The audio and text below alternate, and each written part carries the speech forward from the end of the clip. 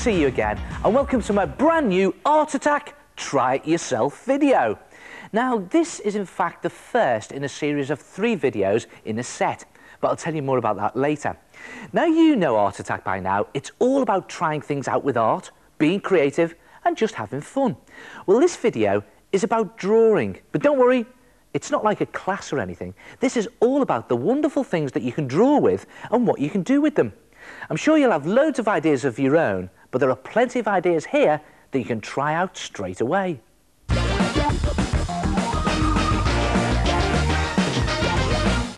Here's a great way of drawing a haunted house. Take a black and white wax crayon and a nice dark piece of paper, can be dark blue or dark grey, and near the top just draw a round moon and then colour it in white. And just underneath the moon, take your black wax crayon and just draw a very simple haunted house.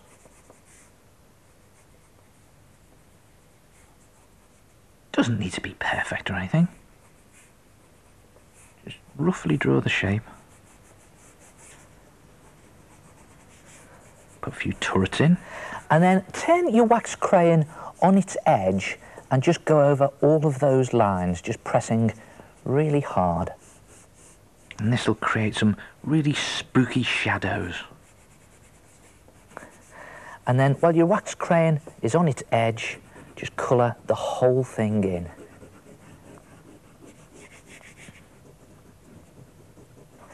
And then just do your haunted house sitting on the top of a hill, again with your wax crayon on its edge. And you get this really spooky, grainy effect. And then just put in some detail on the house.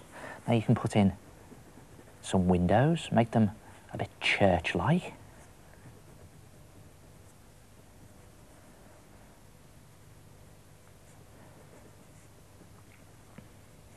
And you can put a gable on the top of the house. And I think a nice big doorway. Let's put some light shining out of the door and out of those windows.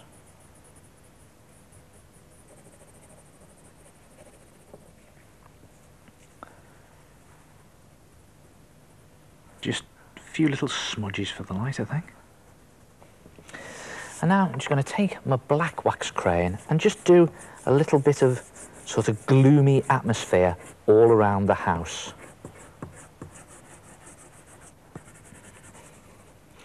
And I think I'll just put some detail down on the rocks here, maybe some steps coming down from the house. And what about spooky gravestone shapes? There always seems to be spooky gravestones around haunted houses, don't there? And don't do any of it perfectly, just hint at the shapes. I'll tell you another thing you always get around haunted houses, these sort of very rickety railings.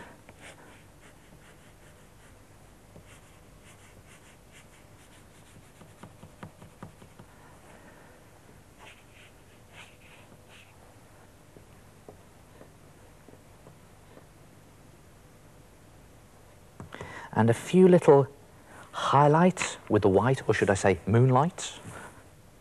Just little bits of white along the edges the edges facing the moonlight. Doesn't need to be perfect or anything. And I'm just going to shoot some rain across the picture.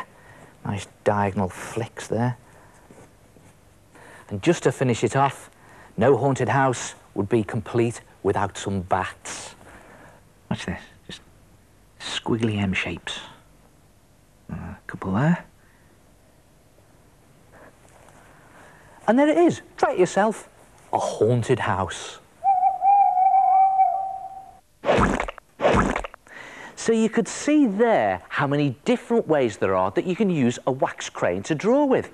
You can press hard or gently, you can shade with them on their side to fill in large areas, and you know, they're often the things that get left in the bottom of your pencil case or art box. but they really are fantastic art materials. And if drawing with them isn't enough, look what other tricks you can do. If you draw something in wax crayon first, then it resists paint or ink when it's brushed over it. Look at that. Put a bit more on there. And there it goes, resisting the paint and ink. And you know, this technique can be used to get fantastic effects in lots of pictures.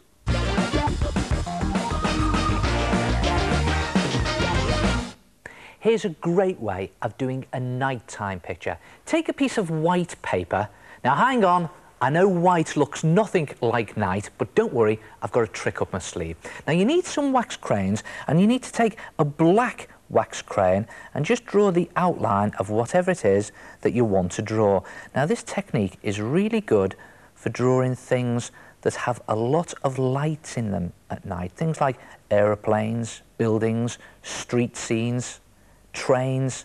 Now I'm actually going to draw a big ship. They have lots of lights in them, don't they? And you just draw the outline in your black wax crayon. And you say, I'm just, I'm just putting in the basic shapes. Nothing too detailed. And another funnel there. And when it comes to colouring it in, just colour anything that's really dark in black. So that's on this picture, the bow of the ship, because it'd just be a silhouette, wouldn't it?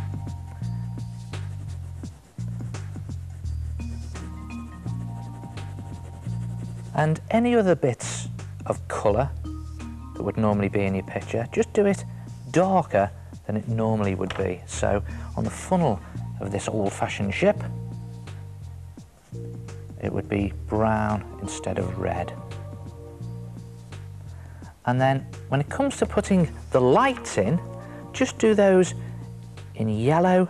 Oh, broken my wax crayon there. Not to worry because I'm pressing quite hard for this. You have to press quite hard. Do the lights in yellow or white.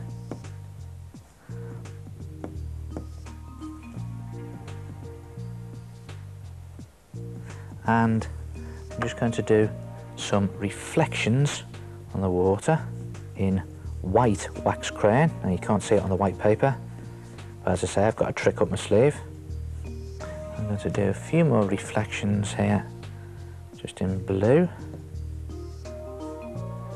And just finally, even though you can't see it yet, I'm going to do the moon up there in the sky and its reflection in the sea and just finish by dotting a few white stars in the sky.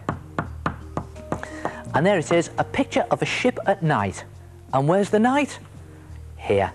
Just mix some watercolour paint with plenty of water, make it nice and runny, and then just paint it onto your picture. And look what happens. The lights resist the paint. So you get all that wax shining through and just paint it all the way down, cover the whole picture. And there it is, a wax resist night picture. Try it yourself, great fun to do. Ever since I've been doing Art Attack, I've loved doing wax pictures. In fact, I was looking through the Art Attack office the other day when I came upon this wax idea on the very first ever series of Art Attack. Now look, I'll only show it to you if you promise not to laugh at the hairstyle. okay, here it goes. Bad hairstyle, but great idea. Now there is another way that you can create a wax resist picture using one of these ordinary household candle. You just draw an invisible picture onto your paper with a candle like that.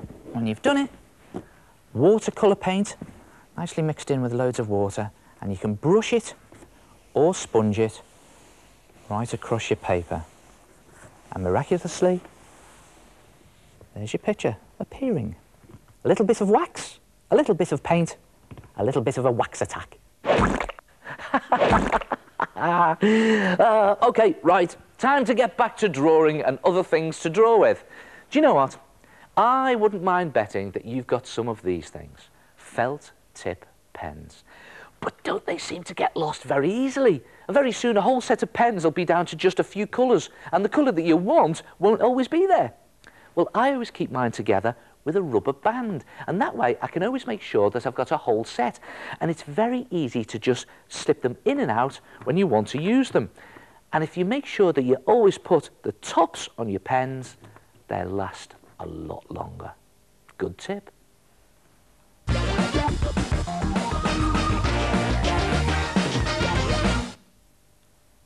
Are you like me? Do you have trouble with these things? Felt tip pens. I mean, there are so many different types of felt tip pens available, aren't there? Just look at this lot. What have we got here then? We've got jumbo marker, micro marker, magic marker, thick point, thin point, chisel point, expensive ones, cheap ones. Do you know what? They are so confusing. All right, let's get it sorted out once and for all. Basically, there are two types of marker, permanent marker and water-based marker. So let's take the permanent marker first. As their name implies, permanent markers are permanent, which means they don't come off, which means they don't smear. So when you're doing a drawing that you've done in one colour, you can just go right across it with another colour and it doesn't smear. You don't get that horrible muddy effect.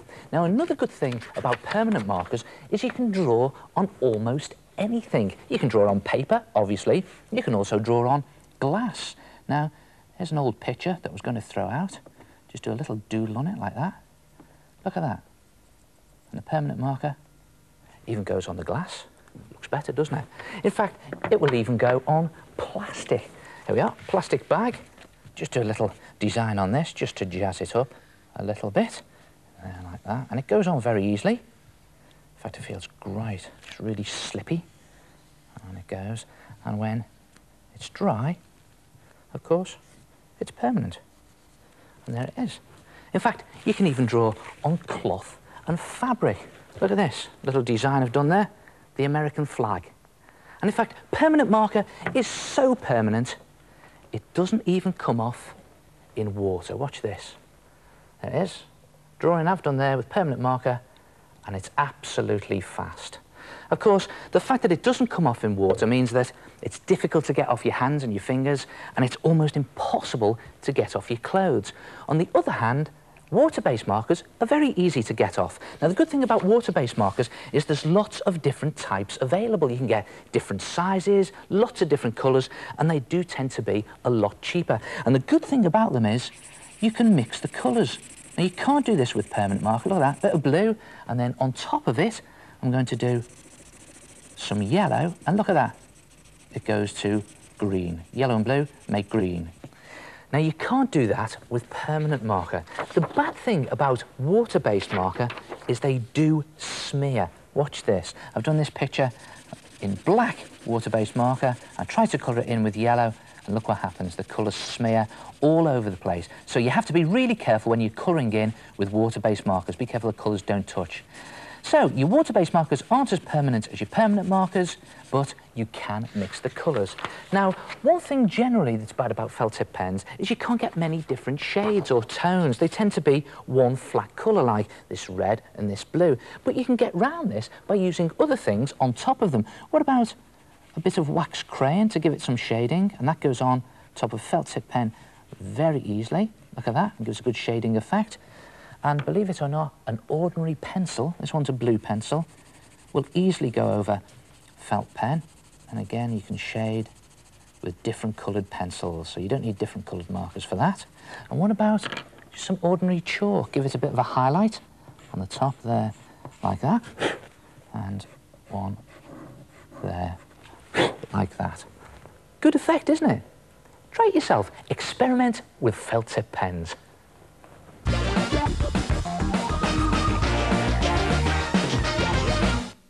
You know when you're colouring things in, do you try to get things absolutely perfect? Well, why not try something completely different? A different way of colouring in, and you can get some great effects. Now, here's a picture I've drawn in pencil, just a very simple picture. I've just drawn the outlines, and I'm going to show you several different ways to colour it in, all very simple, all very different, and all very effective. Now, I'm going to start by colouring in with curly scribble.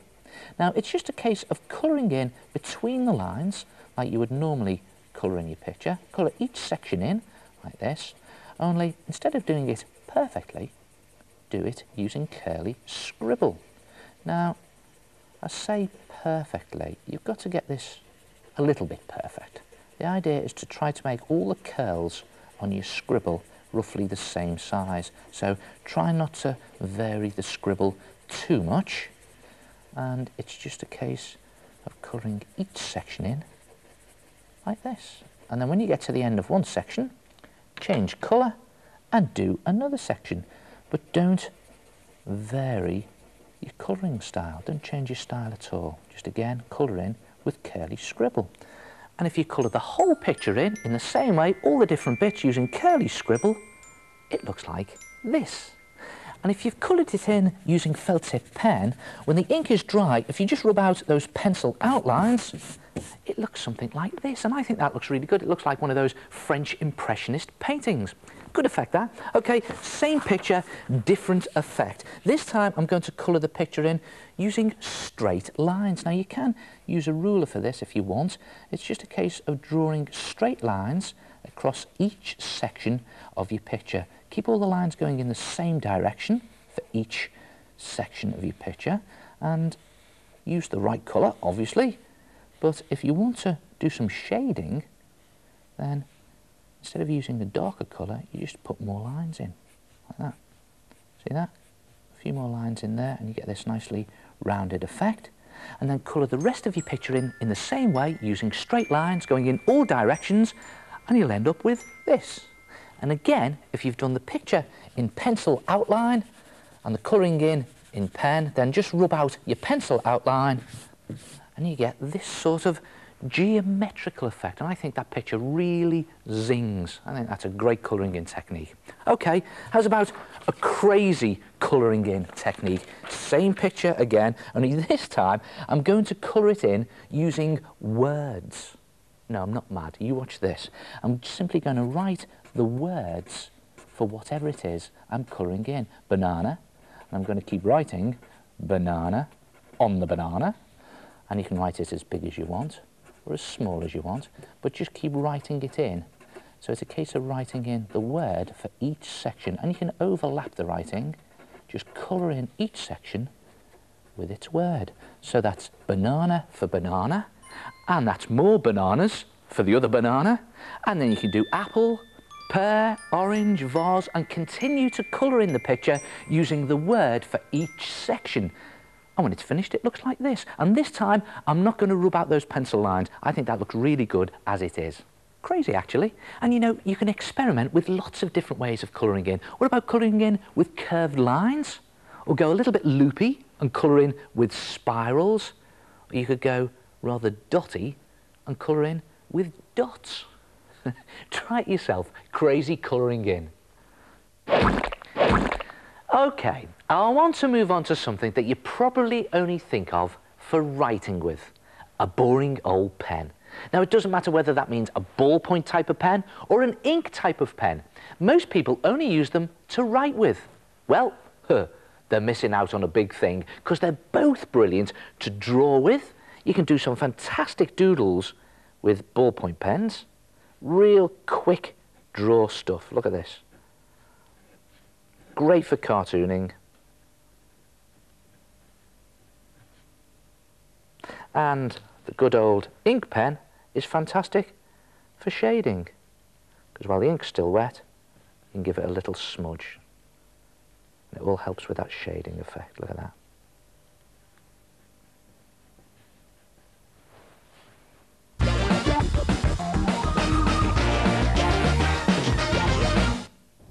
You know, one of the great things about an ordinary crayon is all the different tones and shades that you can get from one colour just by pressing lighter and harder. But what happens if you haven't got a crayon? If all you got is a felt tip pen? Well, you can't press harder or lighter with that because the ink all comes out the same. Try this.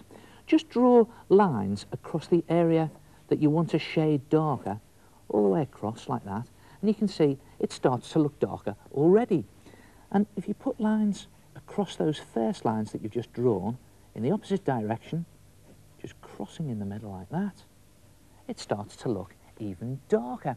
And this method of shading is called cross-hatching. It's literally shading using lines that cross each other.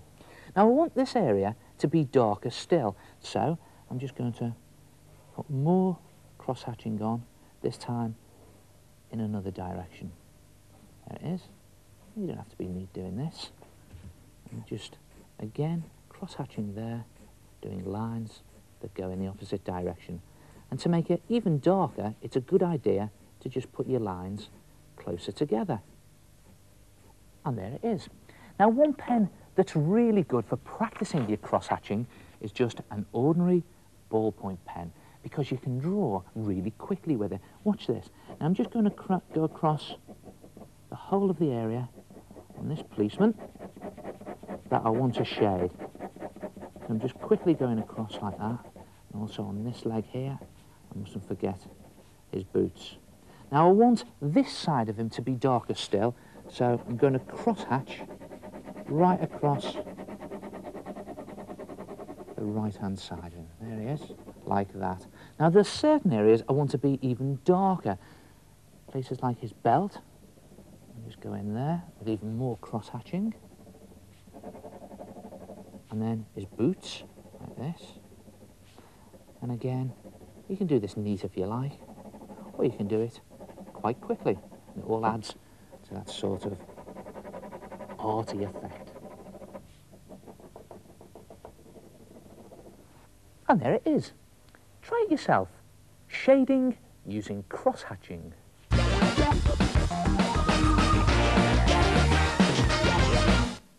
Have you ever seen or tried any of these things? Water-soluble pens and pencils. Now you just draw normally with them, but then you brush on some water and they turn into watercolours and you can get some great effects. But you can get a similar effect using ordinary ink inside an ordinary school fountain pen. Now you can get lots of different coloured water-soluble inks for your school fountain pen. You can get blues, blacks, reds, greens. I've got some brown ink inside this one. And the reason I'm using brown ink is I want to create an old-fashioned effect on my picture. And again, that's why I'm using this light brown paper. And drawing with a fountain pen is slightly different to drawing with an ordinary pen or pencil. You get a sort of scratchy effect. It feels scratchy when you're drawing with it, but that all adds to this effect that I'm trying to achieve. I'm just going to draw just a very rough sketch doesn't need to be perfect or anything. And I'm just going to colour that bridge in, but I'm not going to put too much ink on. See the way I'm just colouring it in or shading it in in a very sketchy way, just with long lines. And I'm just drawing this countryside scene. And now I'll just put some reflections in the water, reflection of the bridge, there, and just a reflection of that shadow underneath the bridge, just hinting the reflection there. And then finally, two little duck friends down there. And there it is. Just a very rough, ordinary sketch. But watch this effect. Just take a brush and just brush some water along those ink lines. Not too much water, just enough to charge up the ink and get the ink moving a bit. You don't want to soak the picture with water, you just want to get that ink moving just a little bit to create a really wispy effect, really atmospheric and really suits this old-fashioned pen and wash technique it's called. You see what happens here? Where I've put more ink on the shading of the tree, then the water picks it up and darkens that area even more. So you get a really good shading effect.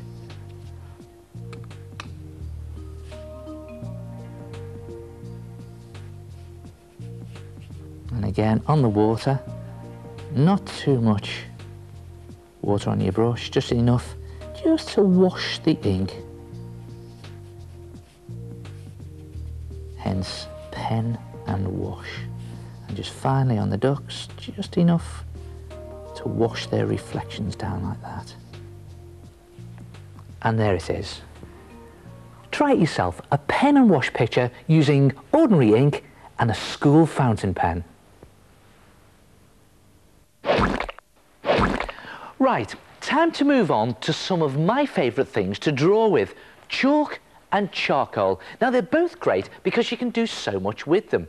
Now for chalk, just look at how much a little chalk dust can just be used to dab onto paper with a bit of cotton wool to create a sort of, well, it's a sort of billowing cloud effect, just going in a circular motion like that, just rubbing the chalk in. See that? And you get this sort of great cloudy effect. There, one more on there like that. And then it really looks like billowing clouds if you just take a stick of chalk and just pick out, just pick out the edges of the clouds there and it looks like sunlight dancing on those clouds. Great effect. And I love the way with charcoal that you can smudge the edges of the lines to make them look softer. Watch this. I just smudge the lines on the cat's body. It looks nice and soft and almost fur-like. That? Now have a look at how you can use chalk and charcoal together.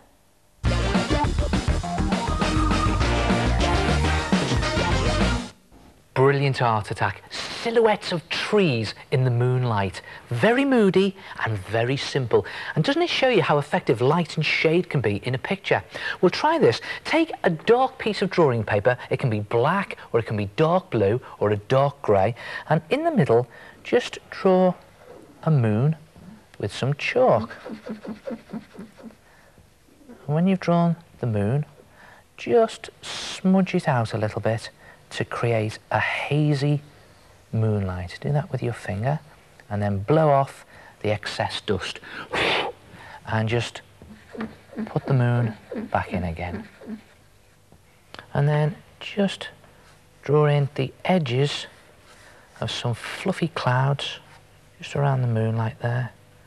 Just the edges of these clouds and just pick out the edges with some moonlight. And then draw in the silhouettes of your trees. Now, I'm just going to do some very simple, straight birch trees. You can do whatever trees you like, and you can make them as detailed as you like, but it's just the silhouettes you want. You can do it using chalk or pastel or charcoal. Um, and I'm just making them a little bit smaller as they get into the distance.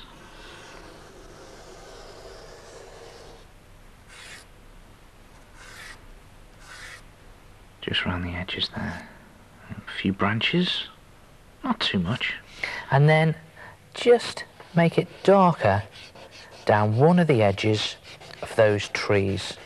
The edge that's away from the moonlight. So it's the edge that's in the shade.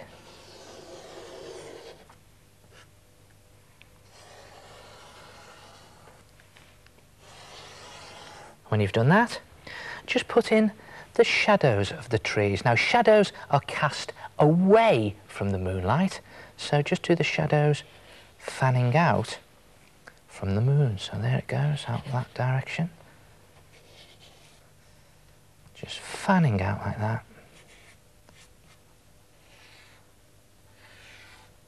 Oops, butterfingers. And then just pick out some highlights down the side of those trees, the side that's facing the moonlight. So these are just little bits of moonlight dancing on the side of those trees.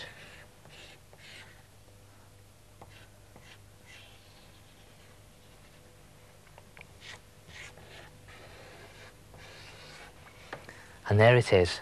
A little bit of light, a little bit of shade, silhouettes of trees in the moonlight. That's just using two shades, black and white. But look what happens when you use other colours, warm and cool colours.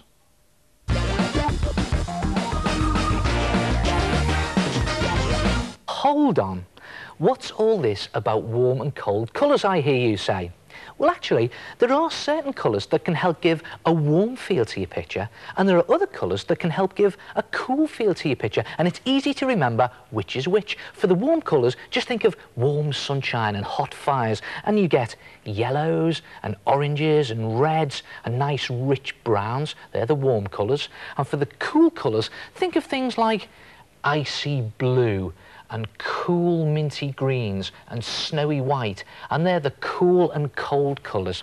Now just to show you how effective this technique can be I'm going to do a picture that's got warm bits in it using warm colours and cool bits in it using cool colours and I'm going to start with the warm colours.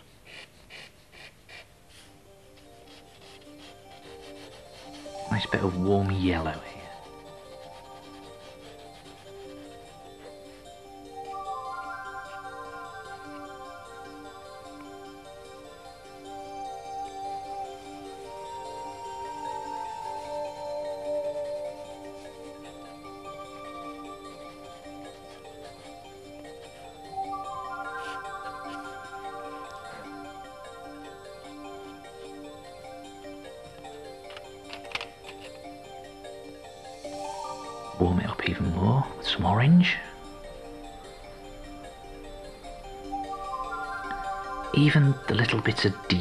Nice warm yellows.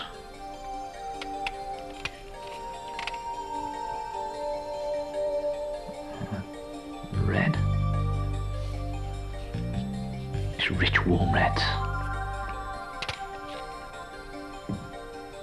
And a little bit up here Again, rich reds.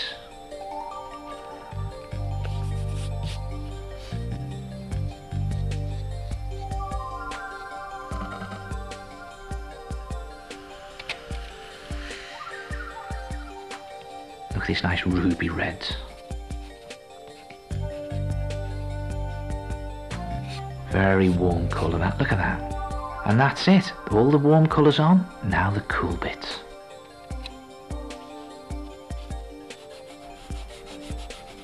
snowy white.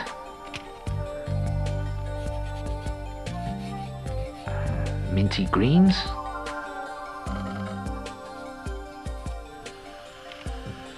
And what about some icy blue? Look at that. Cool. freezing.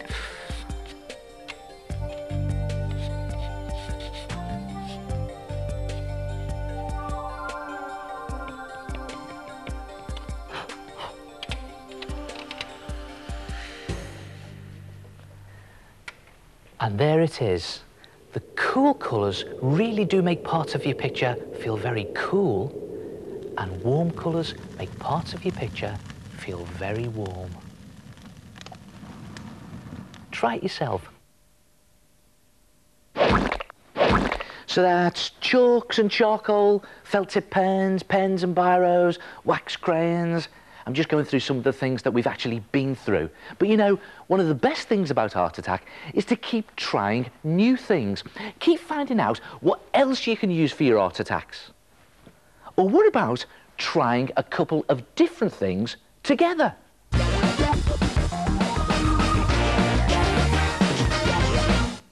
When you're creating a picture, do you sometimes have difficulty trying to decide which art materials to use? I mean, there are so many of them.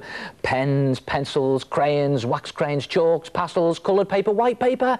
And yet, they're all good for different things. Well, here's a bit of fun. Why not use all of them. a sort of mixed materials picture. Okay, what about the good old pencil? Now, the great thing about pencils is you can just sketch very quickly with them and put in rough shapes of your picture. And then when you've actually finished your picture, if you're not too happy with the shapes, you can alter them. You can even rub the pencil out at the end. And what about the good old paint? Well, the obvious thing that's good about paint is that you can cover big areas with colour very quickly. And I'm just using ordinary watercolour paint. Of course, the disadvantage to paint is you've got to wait for it to dry. That should be okay. It's quite hot in here anyway. That's it. Okay, what about marker pens? Well, again, the obvious advantage to marker pens is that you can cover big areas very quickly. And if you use permanent markers, they go over absolutely anything.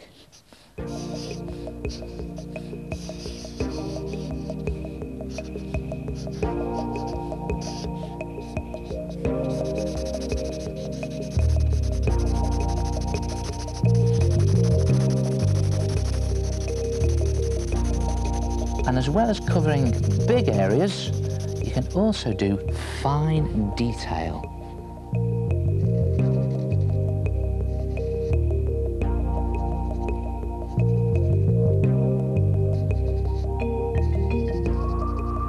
See if you can guess what I'm doing.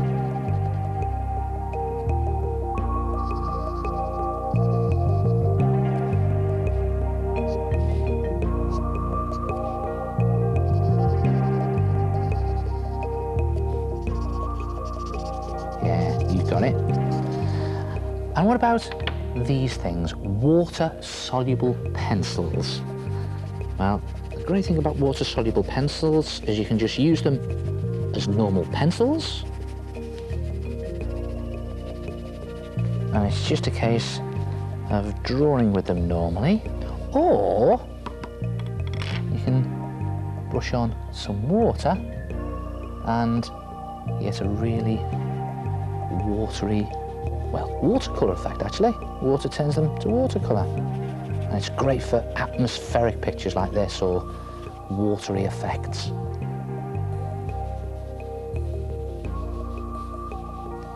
And what about one of my favourites, chalk. Great for just adding highlights to things, just down the edge of things where the light is shining. Just picking up those highlights there.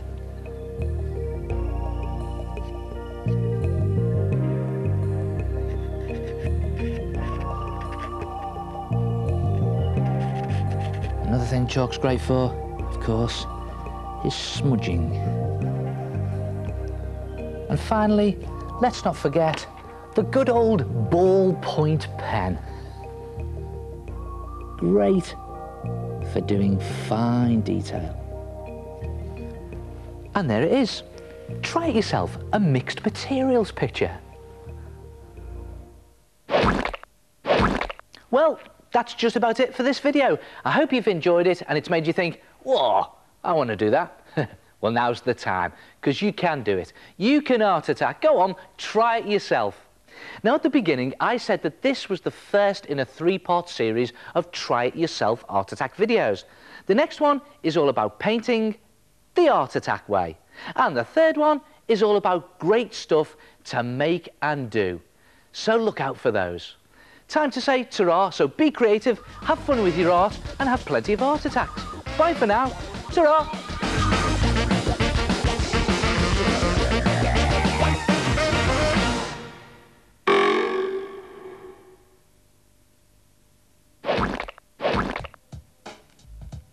There are loads of fantastic Art Attack videos to choose from, all featuring your favourite Art Attacks, the greatest episodes, top tips and tricks from Neil, and a chance to see his ever-changing hairstyles.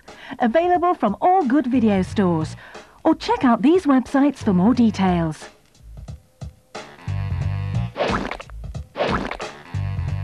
The Art Attack magazine. It's the most artastic magazine you can buy. 36 pages jam-packed with fantastic things to make, do, draw and colour. And every month it comes with a special free gift attached. Available from all leading newsagents and supermarkets, it's the number one art magazine. Have yourself an art attack and flick through these fantastic files from Funfax. Neil shows you how to paint and draw monsters, machines, animals and people with easy-to-follow instructions. Plus stickers, puzzles and space to write down all your personal stuff. Take an exclusive look behind the scenes at Art Attack in the new Art Attack Annual and find loads of amazing things to paint, draw and do in these other great books from Dorling Kindersley. Secret Stuff, Great Art Attack Stuff and the original Art Attack with Neil Buchanan. Egmont Children's Books range of Art Attack activity titles are packed with fantastic art attacks for you to try. These fun books are full of wacky and wild projects to keep you entertained for hours. And there's one other great thing about these books. They're pocket money priced. Hasbro has a great range of thrilling kits that include everything you need to have an art attack. Mad Mail, Crazy Faces, Fantasy Den, and the all-new Secret Keepers and Jungle Surprises kits. The Art Attack Big Bin from Hasbro is a must-have art store for any budding artist and includes lots of wacky art tools and loads of ideas for how to use them. Create your very own Art Attack at home with this fabulous range of stationery from Helix. The Essential Art Attack Paint Tube Pencil Case, a giant folding art rule with cutouts and stencils, as well as a collection of funky stencil packs, all of which you can mix and match to come up with your own fun designs. Not forgetting the double-ended stamper marker pens, brilliant for adding a personal touch to all your creations.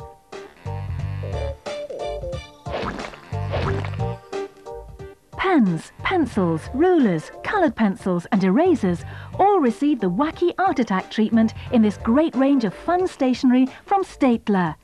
Ranging from a pack of three Art Attack pencils for just 99p through to the classroom kit at £5.99, Staedtler's Art Attack range is also pocket money friendly. The Pritt Art Attack adhesive range is high quality, washable, safe and solvent free. In addition to the Art Attack PVA glue, the range includes Art Attack Shiny Stuff, which adds that ultra-high gloss finish to all your creations, and Art Attack Fun Tack, the reusable tack that has many uses. The Art Attack CD-ROM is packed with creative tools for children to use on their PC, complete with advice from Neil. There's a creative studio, a huge collection of paint features, and the exciting cartoon creator. Also, look out for Art Attack Print It, coming soon. Available from most good computer stores. Art Attack Papers. Perfect for all those papercraft activities, modelling and picture making. Handy packs containing super project ideas. Great fun, great colours, great art attacks. You can find details on all these products, plus fact sheets from the TV show and loads of stuff to do on the new Art Attack website at www.artattack.co.uk.